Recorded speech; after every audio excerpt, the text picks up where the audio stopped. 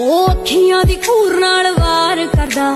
ਬੋਲਦਾ ਏ ਖੱਟੇ ਉਹਦੀ ਗੰਨ ਬੋਲਦੀ। ਉਹ ਮੇਰੇ ਬਾਰੇ ਜੇ ਕਿਸੇ ਤੋਂ ਗੱਲ ਨਿਕਲ ਜਾਵੇ, ਗੋਲੀ ਸ਼ੂਕਦੀ ਜਾਂਦੀ ਏ, ਉਹਦੇ ਕੰਨ ਕੋਲਦੀ ਉਹਨੂੰ ਕੁੰਡਾ ਨਾ ਕਿਹੋ, ਬਸ ਵੈਲੀਏ ਥੋੜਾ ਸਿੱਕੇ ਓਟੀ ਮੇਰੇ ਲਈ ਕੈਰੀ ਕਰਦਾ ਕੋੜਾ ਗੱਭਰੂ ਐ ਨਾ ਕੋਈ